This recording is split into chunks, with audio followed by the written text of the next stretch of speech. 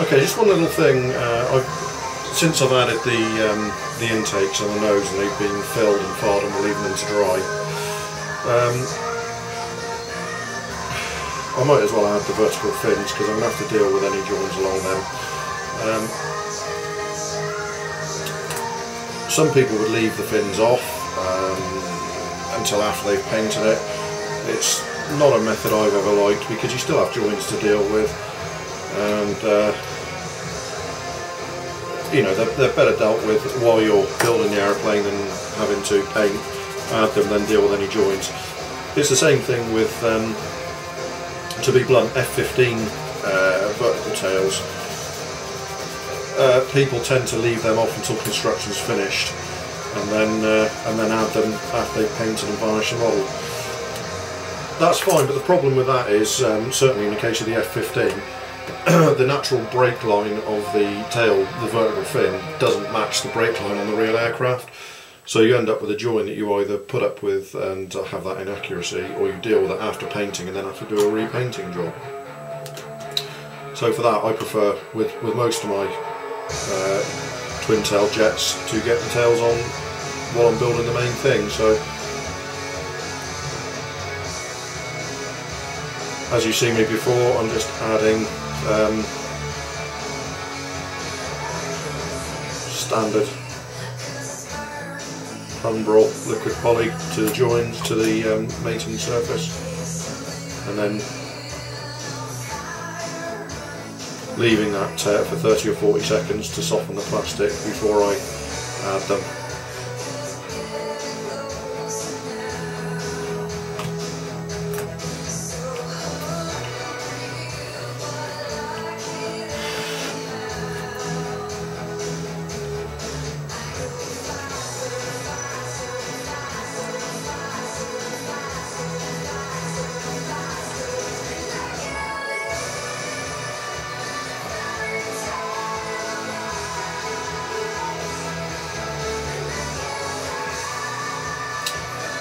Really can't say enough good things about that join.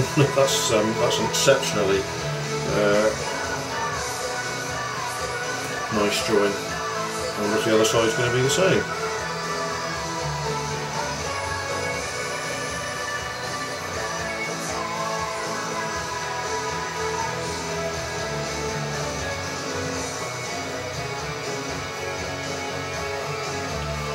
And the answer is pretty much yes. The join is just as good on that part of the uh, tail.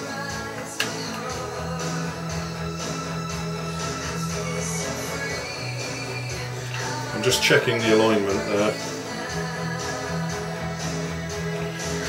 And they look pretty much dead vertical to me, so what I'm going to do is just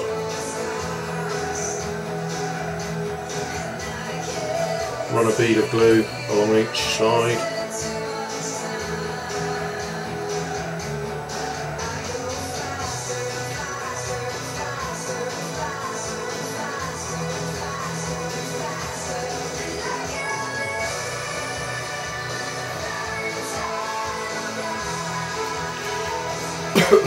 There's also some stabilising strakes to go in uh, on each side of the boom here but I'm going to leave those off until I've dealt with um, the uh, intake tunnels uh, probably tomorrow.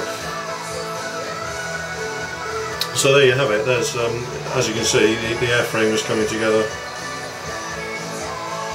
Got a fair old break now. Right, so I'm not far off um, now uh, the stage where I want to begin uh, painting, uh, starting to apply some paint at least to my sea flanker.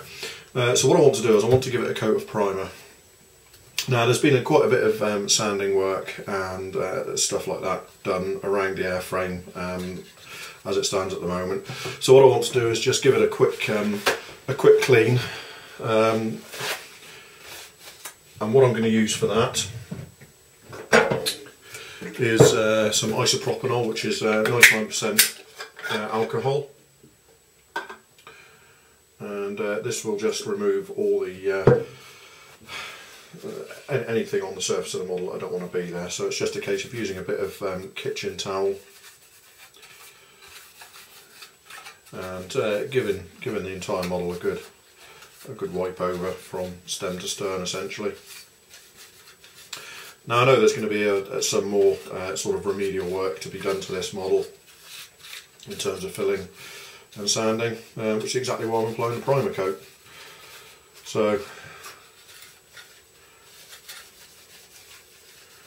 it's been given a brush off just to get rid of any um, any dust and sanding dust and stuff and this is just a final little um, wipe over just to remove any existing grease or oils on the surface.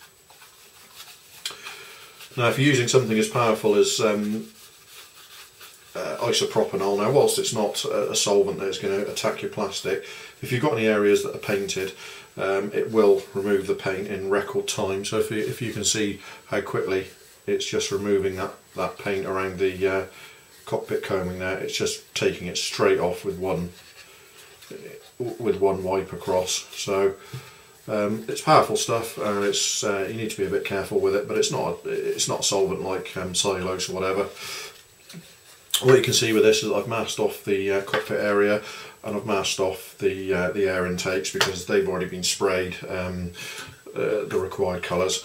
Um,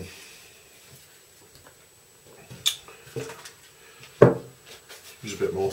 Now I've got the tail planes and uh, the canards. Um, I've, I've removed all the join lines, added the fairings to the tail. Just give them a quick wipe over as well. Now the main, obviously the main reason for priming is just to tell if there's any uh, areas that are going to need further work. But it also gives a good base for following coats of paint, gives you a nice uniform finish to um, to work from uh, with the following with the following paints. Uh, using something like this alcohol, it will um, evaporate really very very quickly. It's it's a matter of seconds.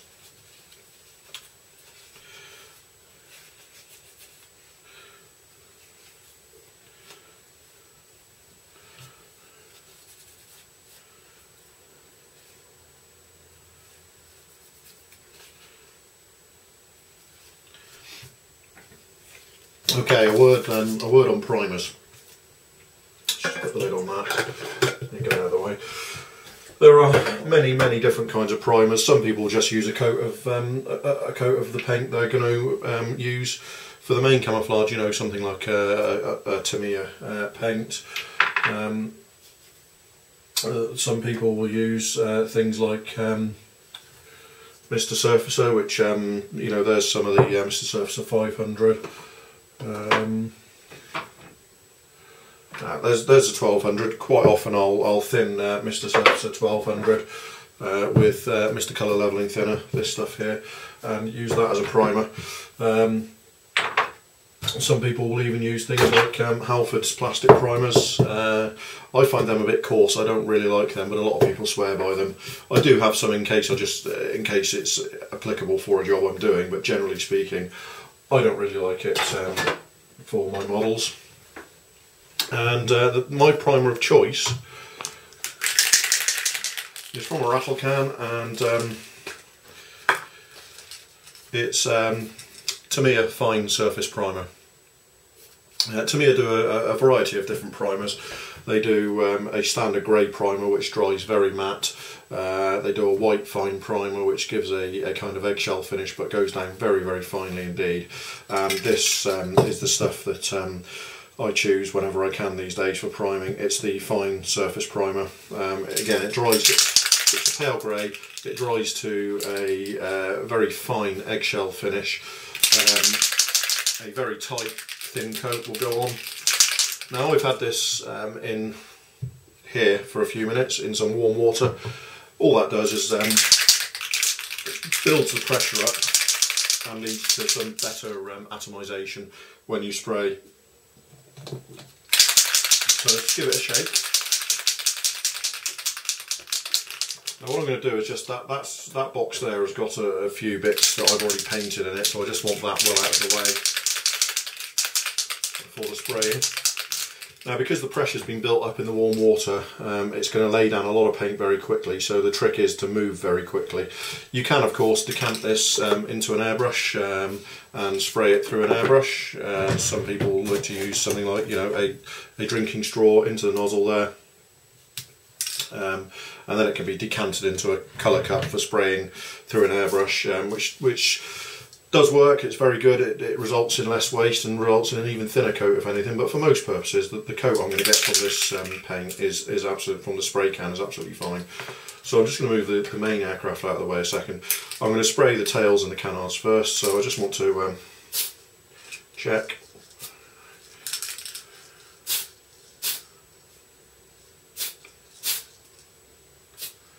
that really that is it. You've seen me, what was that, barely half a second each side there and that's been given a good coat of paint.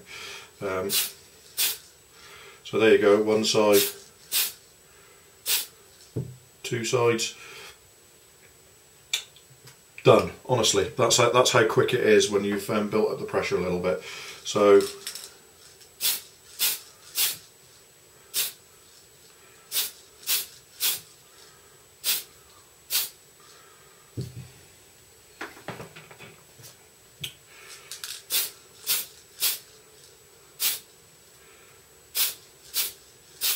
it will self-level in a very few seconds and uh, dry off equally quickly. So now we're going to move on to the main airframe. I'm just going to stick, I'm looking for something to uh, uh, hold the model by as I spray. And uh, generally speaking I find a couple of paint brushes will do the job very adequately. So there you go. So here we go then. This is the main aircraft. I'm just going to give it a quick blast with the uh, Tamiya Fine Primer.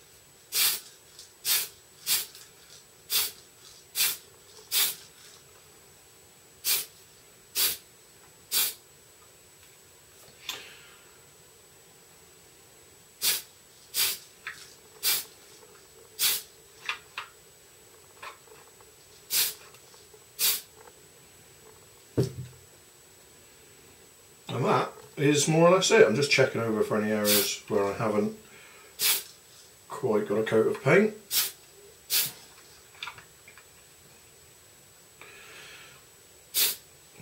Now I could spend um, hours going through all the health and safety stuff about um, you know using masks and all the rest of it. Uh, we're all adults here. I'm not going to teach you to suck eggs. You know um, what your limits are. You know um, you know, if you're a regular modeller, you should know the safety uh, precautions you should be taking. So I will leave that entirely up to you. I'm not going to mention them.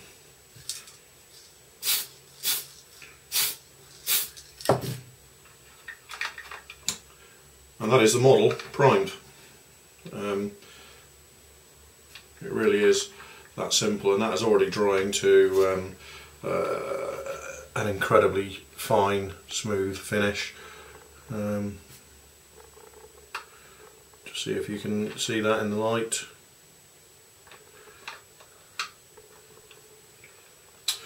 So what I'm going to do is I'm just going to put that to uh, one side.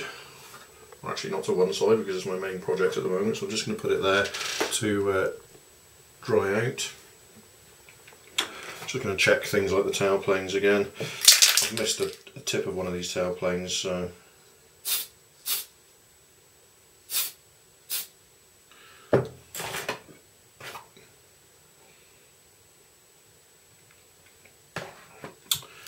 there's that so what I always do is uh, use a bit of lacquer thinner cellulose here in the UK, lacquer thinner to our American friends.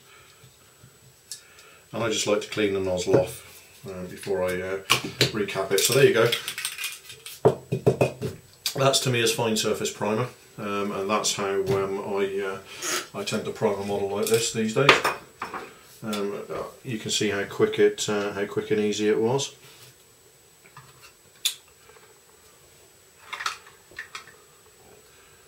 Okay. And as you can see, areas that are dry, I can already.